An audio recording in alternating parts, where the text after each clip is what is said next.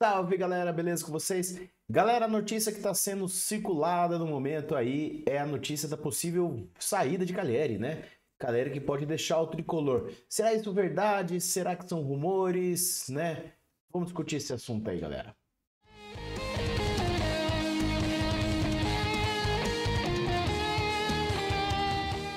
Galera, antes de mais nada, se inscreva no canal, galera. Deixa seu like, curta o vídeo aí para dar essa força e pra gente continuar discutindo, pra gente debater aí sobre o nosso tricolor, galera. Né? São Paulo que tá de férias, né? Os, os jogadores, né? Os jogadores estão de férias, mas o mercado da bola está agitado, galera, né?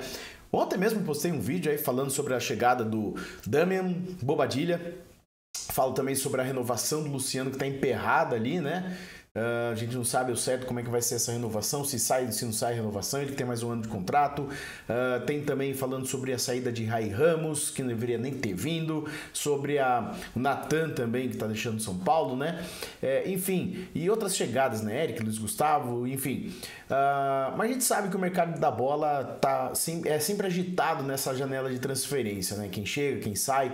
E o que está sendo comentado, galera, recentemente aí, né? Eu vi hoje essa notícia e resolvi comentar com vocês é a respeito do Jonathan Caleri, né? Que estaria recebendo aí sondagens, né? De clubes uh, do México e dos Estados Unidos.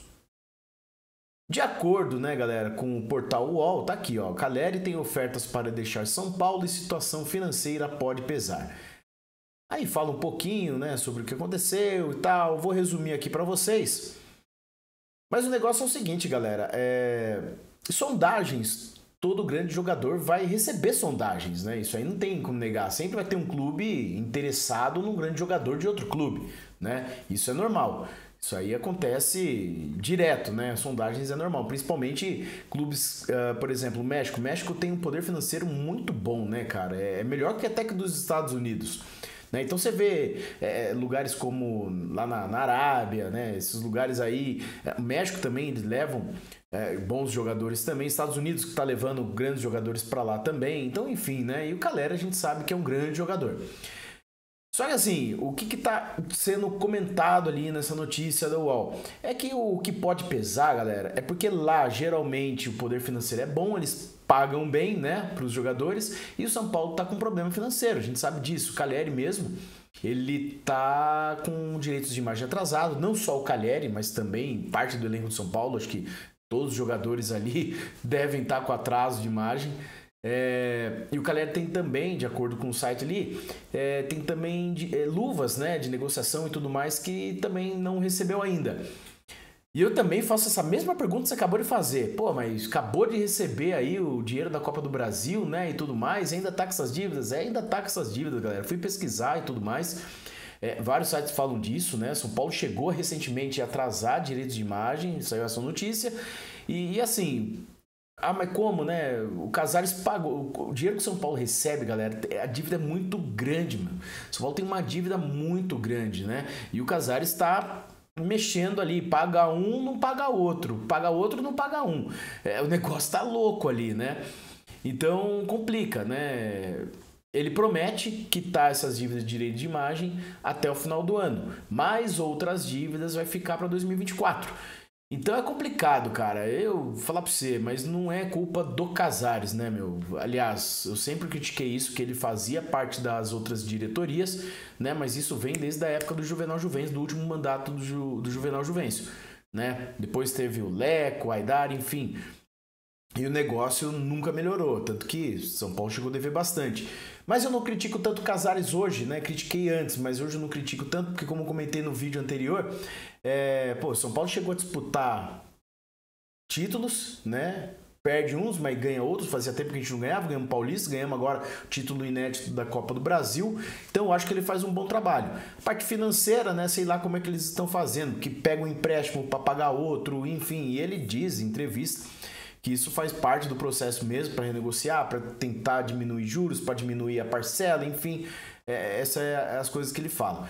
E realmente esses atrasos acabam afetando realmente o elenco, né, meu? Às vezes a gente fala assim, pô, má vontade dos jogadores tudo mais, a gente não sabe o que acontece nos bastidores, né? É, tem gente que fala, né? Finge que eu pago, que eu finge que eu jogo, né? Então é complicado. Isso aí realmente pesa. Mas voltando a falar do Caleri, eu acho que ele não sairia nesse momento não, sabe? Apesar de poder receber propostas muito grandes assim, né, financeiramente falando, é, eu acho que ele daria uma segurada. Eu acho que também tem o lado do jogador que, por exemplo, Caleri que gosta do São Paulo, é, eu acho que ele não sairia de São Paulo agora tendo uma Libertadores para disputar, né, meu? Eu acho que ele vai querer disputar, torcendo para que o São Paulo monte o elenco. O Lucas mesmo falou que fica, é, mas uma das cláusulas, vamos dizer assim, no contrato era que o São Paulo montasse né, um grande elenco para poder disputar a Libertadores, porque também não vai ficar se for para o São Paulo ser coadjuvante, né? Então, eu acho que tá certo o Lucas até nessa, nessa parte, falar, eu até fico, tá, mas eu quero disputar título, eu quero ter condições de ganhar, não adianta eu chegar lá e jogar. Não tô aqui só para jogar, eu quero ganhar.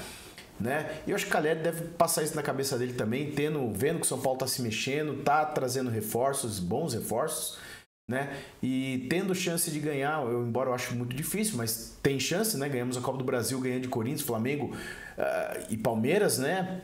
Dentre outros times, mas então acho que é possível, mas tem que ser feito um ótimo planejamento. Então acho que ele não sairia agora. Talvez depois de uma Libertadores ele falar, não, quero fazer meu né, meu pé de meia ali, quero ganhar dinheiro tal, mas eu acho que seria para depois, pro segundo semestre, depois da Libertadores, vamos dizer assim, né?